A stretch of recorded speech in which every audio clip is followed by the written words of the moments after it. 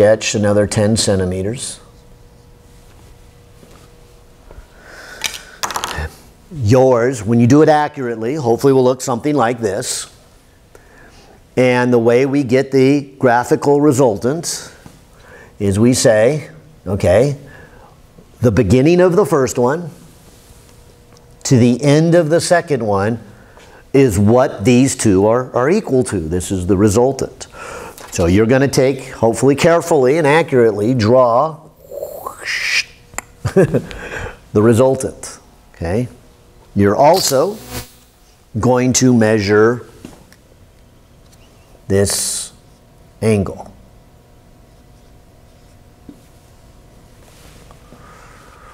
All right.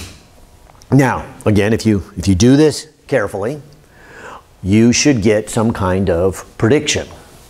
Now, I was fairly careful when I drew the angles, so I just measured 30 degrees, so I think that's pretty accurate. What I was not very careful with, and I, maybe I should have because I wanted, I was just, I shouldn't have freehanded it. That's a, oh, that's more than 10. And that's more than 10. Bummer. So I, I, really can't get a accurate uh, prediction here. My memory is telling me it's about 175, but I'll tell you what, let me actually hook it up and see what I get, and then I'll write a number. I don't want to put a number there and mislead you. But this is a good time for me to say, okay, on your computer, hit the space bar right now, stop, and do these drawings and see what you get, all right? All right, so I'm going to assume you did that. And so now let's work together and hook up the experiment. This is the part you can't do at home, but at least you can watch me do it together here. All right, so let's come over here and let's hook these two up. Now, I'll, I'll use this one again as my resultant or my equilibriant. And these are my two forces. Now remember, this one right here is 100 grams at zero degrees, and I'll just leave it alone. It was the same last time. In fact, it'll be the same all five of them, so I'll just leave that one alone. This one is still 100 grams, so I won't change the weight on here. But it does say change the position, and so I'm going to move this over.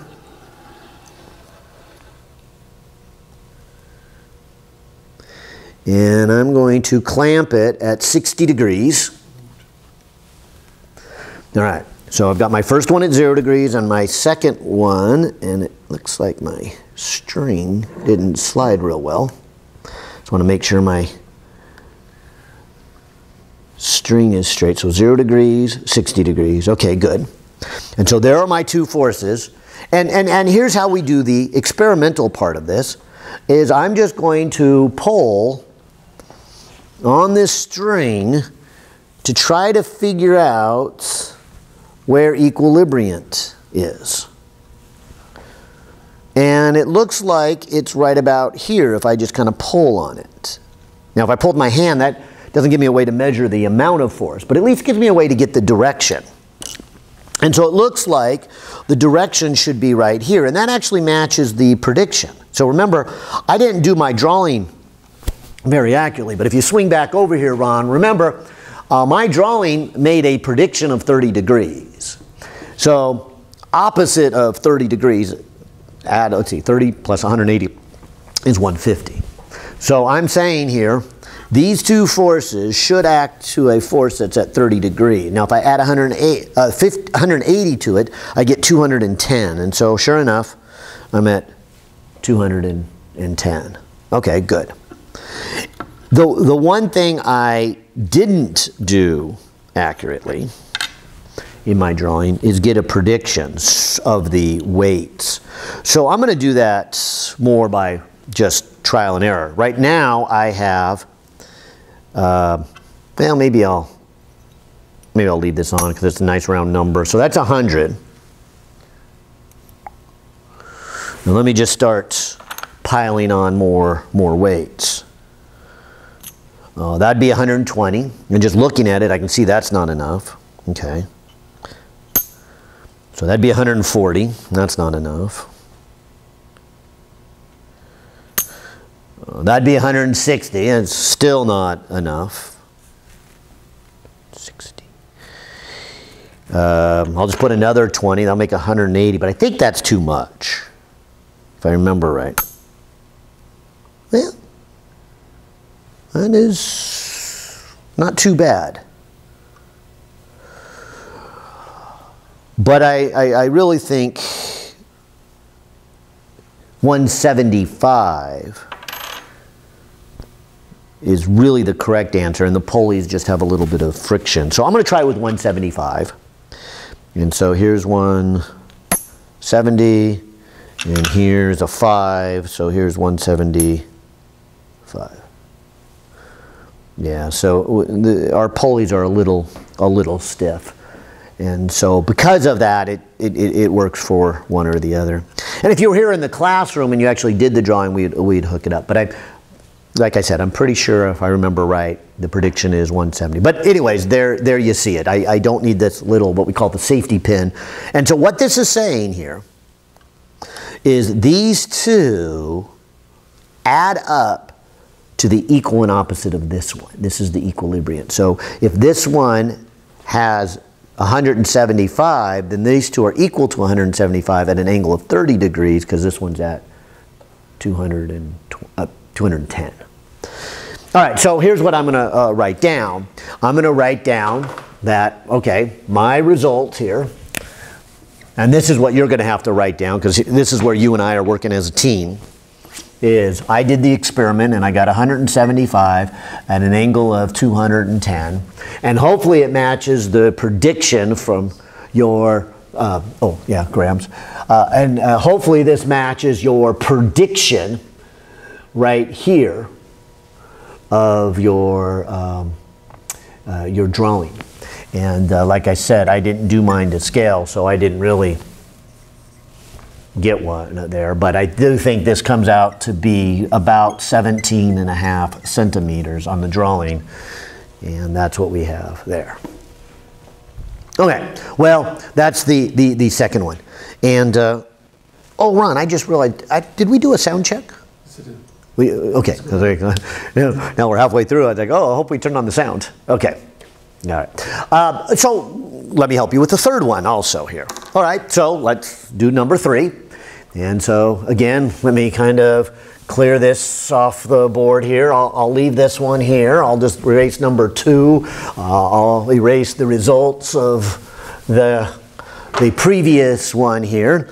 And I will look on page uh, 16 here and see that the second force is a 100 grams at 220 degrees. Okay, so your job is going to be first make the drawing because doing these drawings really really does help. It uh, uh, may seem a little tedious at first, but as you'll see, uh, as the class goes along, and particularly you already saw in the lecture, I'm going to do a lot of these little arrowhead drawings. They don't have to be accurate, but they really, really, really help your thinking. Uh, I'm was calling these free body diagrams, and uh, that's what we call them when we draw forces. But anytime we draw vectors, we, we just draw them. We don't always call them free body diagrams if they're not force vectors, but we do keep drawing them. All right, so number two, you could put the grid back in the middle of the page. And let's do the, the same thing. And maybe I'll do this one somewhat accurate here. I don't have any grid paper here, but I, I, I, didn't like the fact I couldn't make a prediction, and I want to do that a little bit better. So my first force would be 10 centimeters long at zero degrees, that's that one. And my second one would be at 220. And that's why I was talking earlier, where's 220? Because this is the one that a few of you, I know this is going to throw you off a little bit. So the 220 is just 40 degrees beyond the half circle. But also remember this, you draw the second one where the first one left off. So if I put my protractor at the place where the first one left off and I go 220, this is 180, 10, 20, 30, 40. This right down there would be a little mark to represent the direction I need to draw this 220. And so if I draw from where the first one left off to the second one, I would get something that looks like that. And then the resultant, I'll say it again, is the combination of the two. So in this case, we did a little bit over like this, then we did a little bit over like this, and the result is from the beginning of the first to the end of the second. And in this case, it's not very large. It just goes from here to there. And so if I were to draw the resultant and measure it, so I will draw from here to here. I am saying that if you put these two forces together, the two red ones together, you would get that black one. And you can kind of see how they're not quite opposite of each other, so they don't cancel each other out, as we did a lot of times in the lecture. We had equal and opposite, and we got zero. So this, this, this, this doesn't cancel each other out, but it's kind of close. And so when I put this on here to measure its length, I'm looking at about seven centimeters. So that means my prediction here is that the result of these two, when you take a hundred, and this always sounds funny to me, when you take a hundred and combine it with another hundred, you get 70. so 100 and 100 make 70. Like I said, don't say that to a third grader. I totally confuse them. They think 100 and 100 makes 200. But see, direction does matter, and that's what I, I'm going to keep emphasizing here.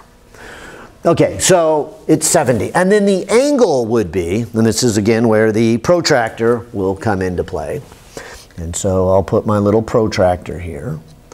And it looks like this is downward at 70 degrees. See, that's why I said earlier, this is the one that kind of confuses students because it's clockwise, it's downward, it's a negative 70. Okay?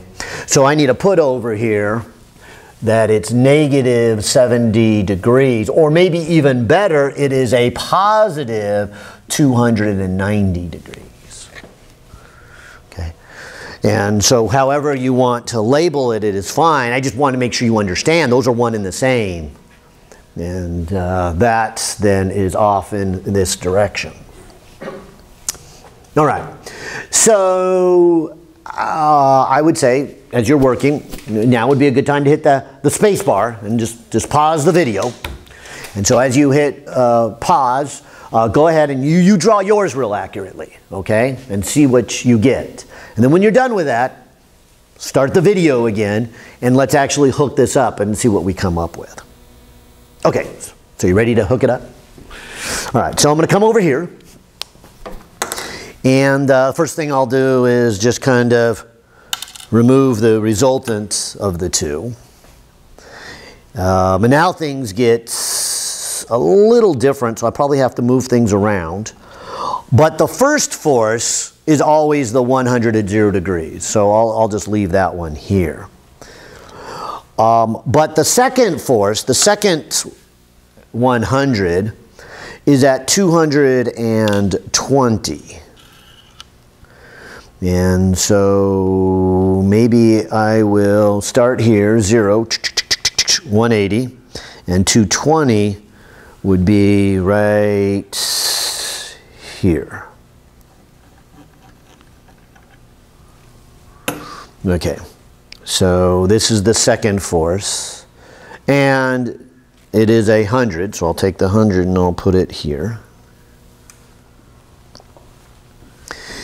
And just with this crazy configuration, I'll use now this one here to get the equilibrium of it. But I'm hoping you could kind of see these two are tugging. They're not quite opposite. I, I, think if they were exactly opposite, it kind of looks like to me they would just be balanced on their own, right? And equal and opposite would, would add up to be zero. But it looks like these two are going to give a little push in that direction. Um, most of it is pulling this way, so that's why it's just a little push, and that's why we got such a small, small force. And for me to measure it somewhat accurately, let me move my string around here. And remember my prediction was 70. So if I go 70 and add, I'm sorry, my prediction was negative 70. Sorry, said that wrong. So that's why I'm doing this one. So I'm going to go down 70. So down 70, and that's the same as 290 all the way around. Okay, so all the way around this way is 290, or negative 70. Okay, so that's my prediction. I'll just take negative 70. But if I add 180 to a negative 70, I get 110. And so sure enough, here's 110, and if I pull on it, yep, that's the direction. And What's on your peg? Huh? It's what's on the peg. Yeah, yeah, yeah. Uh, hang on. Okay. Okay, so here's 110. So I'm going to put this at 110. And then I'm going to take this and put it in this direction. And remember, our prediction was that it was a amount of 70. So I've got a lot to take off here.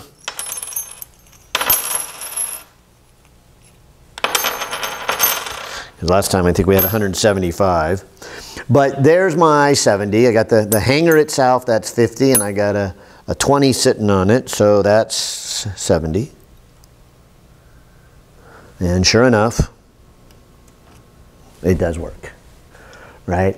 And, and, and so my drawing, or I should say in your case, your drawing, uh, does match what we did together, right? These two add up to this one, but in the opposite direction, because this is the equilibriums. This is balancing what these two add up to. So I would say that these two must add up to a magnitude of 70 and a direction of negative 70, which the equilibrium would be at plus 10. Okay, so what you need to write up here uh, would be something that looks like this. Um, when I did the experiments, I got it to balance with 70 good at an angle of 110 degrees, good, because it is exactly the opposite of what they add up to. This balance is what they add up to. And so you're hopefully starting to get a, get, a, get a feel for this. And hopefully, if you saw nothing else, you've seen already that all three of these we were adding a 100 together. So it was 100 and 100. But the first time we got 100 and 100 added up to 100. The next time we got 100 and 100 and that added up to 175. This time we got 100 and 100 and it adds up to, to, to 70. The only thing that's changed is the direction. Right? So direction really, really matters here. And you can begin to see that the, the, when, when they're kind of in the same direction here, they, things get bigger. When they start to be opposites, so in other words, if the angle between them is more than 90 degrees, they begin to fight each other. And the result gets a, a little bit less. And, and, and, that's the conceptual feel uh, you really want to get out of this. All right, well, let's go to number four. And so number four is this. Now, let me clear this off a little bit. Um, the first force is the same. The uh, second one is the one that keeps changing. And I would say now, for the, for the first time, we've got something of a different magnitude. Uh, we've got 150 grams at an angle of 60 degrees. And keep in mind that number two was at 60 degrees also. And so you can,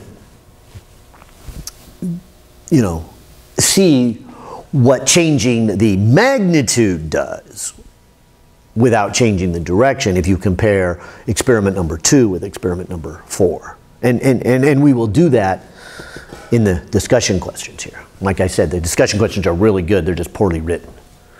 Okay, so on this one, if I make a grid, uh, let me encourage you to put your grid with the origin a little to the left and a little down, and so we have a lot more room of our graph paper over here. Otherwise, it'll, it won't fit on your, on your graph paper. Okay, so I'm going to do the same thing. I'm going to draw my first vector, 100 grams at 0 degrees, would represent this. There we go. So there's my first vector. And my second vector is now going to be longer. This is the only one of these five that is not 100 grams. And so it is 150 grams. So that means I'm going to draw it, according to my scale, I'm going to draw it 15 centimeters long. Okay. But at 60 degrees means that I would put this here, make a little mark. So there's 60 degrees. And then as I get my straight edge here, I will draw a 15 centimeter long line at 60 degrees. And so like I've been saying many times, you draw the second one where the first one left off. This is called the head to tail method. We're trying to see what the result of these two. And the result of those two would be a drawing that would show where the first one starts to where the second one ends that is the result of those two. That, that would include both their magnitude and their direction. And so this is how we, we add them uh, together. And so if I actually then draw this, starting here and finishing here, I have a length that is 22 centimeters long. Now I haven't drawn it real accurately, so we'll see how it works on the force table here, but here's what I would say. I'm saying from my graph, this would be the equivalent of 222 grams. And so in this case, a 150 and a 100 make 220, okay? So that's kind of my prediction, but I can also do the same thing with the angle. Let me get the uh, protractor up here and I get an angle of 10, 20, 30, about 35.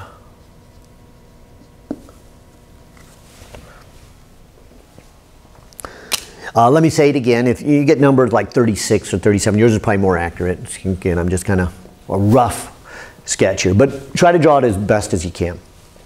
All right, so my prediction here then would be to say that the result of these two is an angle of 35 degrees.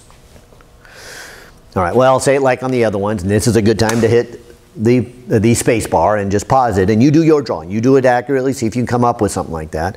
And when you're done with the, that drawing, let's come back and actually hook it up. Let's see if the, the real thing matches what we predicted. Okay. All right, are we back? okay, so let's come back here. Uh, let's hook these two up here. So I'm coming over here to the force table. All right, so, so here's that first force again, 100 at zero degrees. Um, our second one is at 60 degrees. And so maybe I'll use this one here for the second one at 60 degrees. Okay. And so let me just check the string. So that's pulling this way. And that one, I get it kind of centered, it's going to pull that way. Okay, so we got zero degrees and then we've got 60 degrees. And this one already has 100, but this one doesn't have anything on it. This needs 150. So coming over to here, this is the 100, right? Yeah, so there's 100 on here. So let me put a 20, a 20, and another 10. All right, and so there's 150. Okay, so these are the two forces. In fact, just looking at the force table here, you can kind of see that these two adding together look like it's kind of pulling this direction. And that's sort of looking like 35 degrees. And so that's what my prediction was, that these two would pull that way with a magnitude of 220. So to see if it works out right, uh, let me put on my equilibrium. That's, that'll be this one. And so my equilibrium needs to be exactly opposite of that. Um, so let's see. 30 plus 180 is 210, right? So 5 more makes 215. All right. So 215.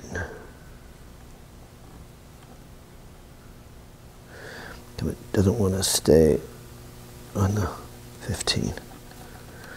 Okay. And maybe I'll just kind of experimentally try it. I'll just tug on it. Does that bring it into equilibrium? Yeah? It looks like it. Looks like it could be off a little bit though. Maybe I'll just kind of hand tug it and put it right here. Yeah. 35, 36. Remember, I didn't do my drawing real well, so I'm not convinced it's 35. In fact, just doing the experiment looks like it's more like 37.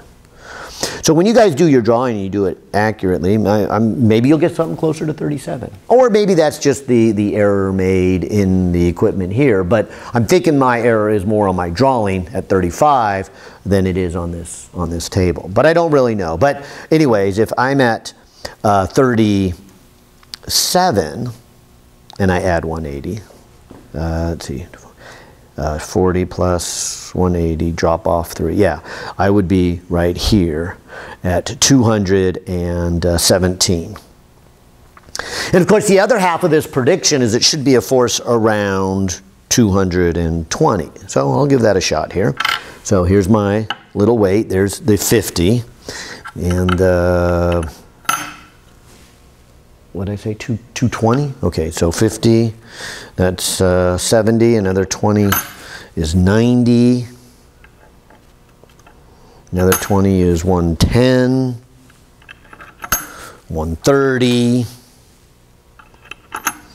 150, 170, 190, 210, and 220 when I put on a, a 10 there. All right, so this is 220. And sure enough, yay, it seemed to, it seemed to work. And I can pull this out. And so again, like the other three, this, this is what this is saying. This is saying if you combine these two together, and so here is a force of 100 at 0 degrees, and the other force is 150 at 60 degrees. If you add those two together, they are equal to, and here's the magnitude, uh, 220 at an angle of, and it looks like I'm at, well, the resultant is 37 because I'm at 217. Uh, so what I would write over here on my piece of paper that eventually you're going to scan and turn in via Canvas is to say that my equilibrium was 220 grams at an angle of 217. Okay? And then these are off by a couple of degrees. But give yourself a little playroom. I, there's nothing wrong with being off a couple of degrees. It's hard to do the drawings right, and I'm surprised mine's even that close given the I don't have my graph paper here. So I'm kind of happy with that. All right, well, on to the final one. All right, so the final one is actually kind of easier than the, the, uh, this last one. They were getting harder for a while, now they get easier. But if you look at the, the last one, the last one has 100 grams for each of them again. And this 100 grams is at a right angle to the first one. So it's at 90 degrees. And so on this one, you can put your grid right in the middle again. You'll have space. And I'll just draw the first one. 10 centimeters over. Okay, so from here to there, there's 10 centimeters. Uh, then drawing the second one where the first one left off. So there's 90 degrees straight up. And I got to draw a second one, then straight up. That is 10 centimeters long. And so the resultant is the sum of those two. So the start of the first to the end of the second. Okay. And so I'll lay this here.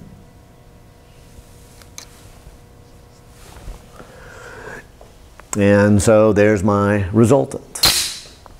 And as I held this up, I noticed it looked like it was about 14 centimeters. So that means that this should be 140 grams. And I didn't measure the angle, but this to me looks like an isosceles right triangle. So I'm hoping this is 45, yep, 45 degrees. So 45 degrees.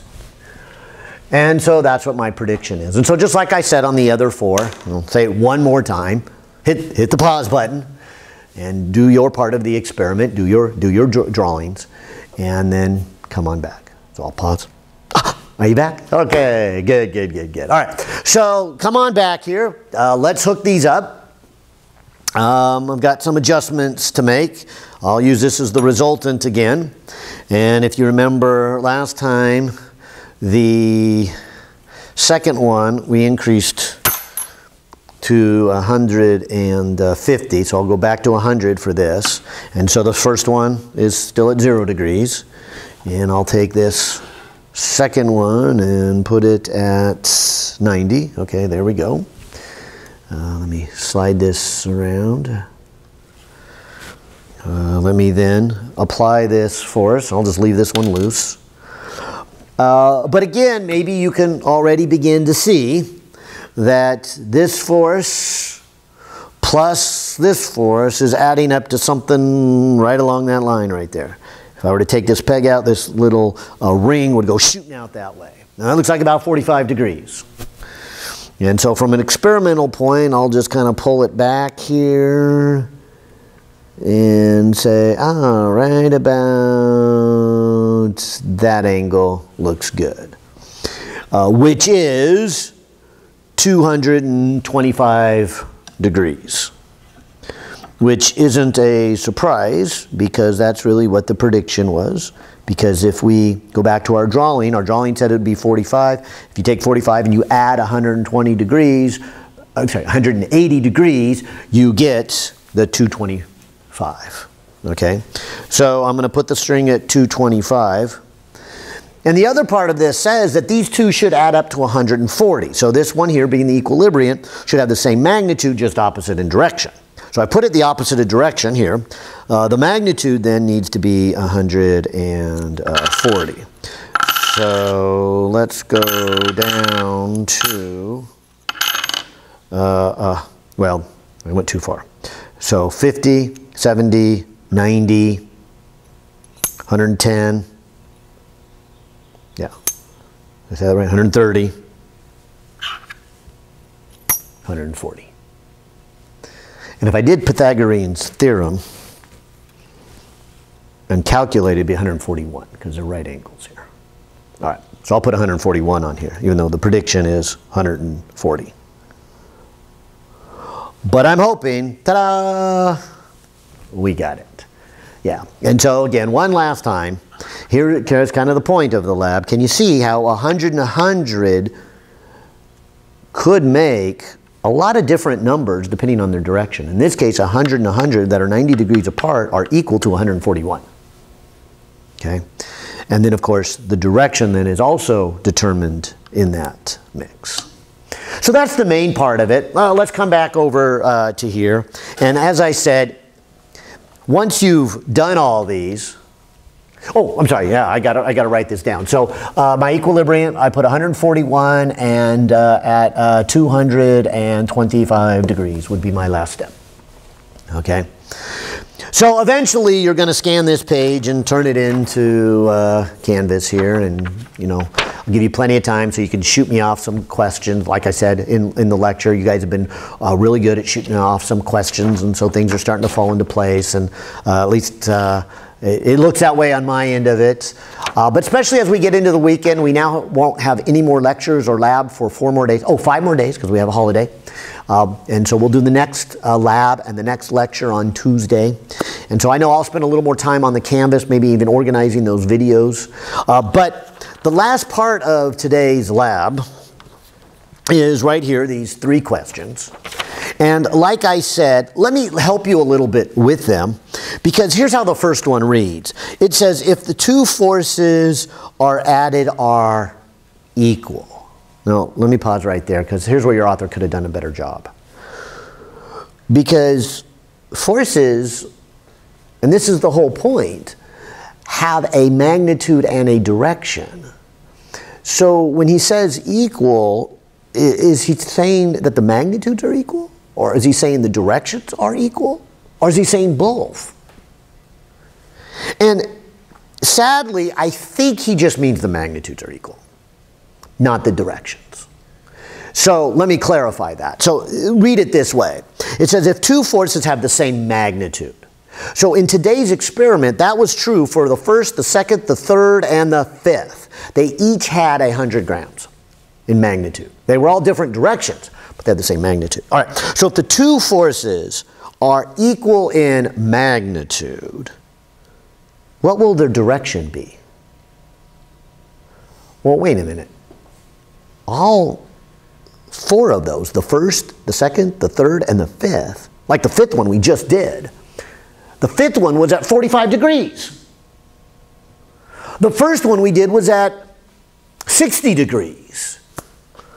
The second one we did was at 30 degrees.